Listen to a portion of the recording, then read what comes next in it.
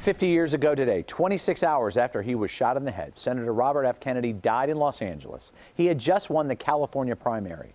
In a hotel ballroom packed with supporters, Kennedy said he was headed to Chicago. CBS 2's Jim Williams explains why he was coming here. In the last days of his life, Senator Robert F. Kennedy was mobbed on the campaign trail. So many wanted to shake his hand, aides had to hold him in the car. I'm delighted to see all of you. But victory in the all important California primary was far from certain. So when he won, there was jubilation at the Ambassador Hotel in Los Angeles.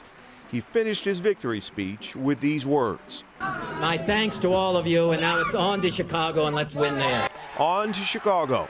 What did he mean? Well, the Democratic convention would be held in Chicago two months later. But first, right after the California primary, RFK was set to meet with a political heavyweight in Chicago, Mayor Richard J. Daley.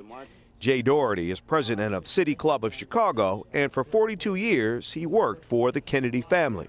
And as he said, Daley's the whole ball game. That uh, he believed that after uh, California, he would go on to Chicago and uh, earn the nomination. Daley family members say it was likely the mayor would have endorsed Kennedy, but then he walked through the hotel kitchen. 50 years ago today, Senator Robert F. Kennedy died. I think that that one bullet really uh, helped change the course of history. So, Jim, was Kennedy a shoe in, do you think, for the Democratic nomination that year? Not necessarily. Back then in 1968, party bosses largely chose the nominees, even if someone won a lot of primaries.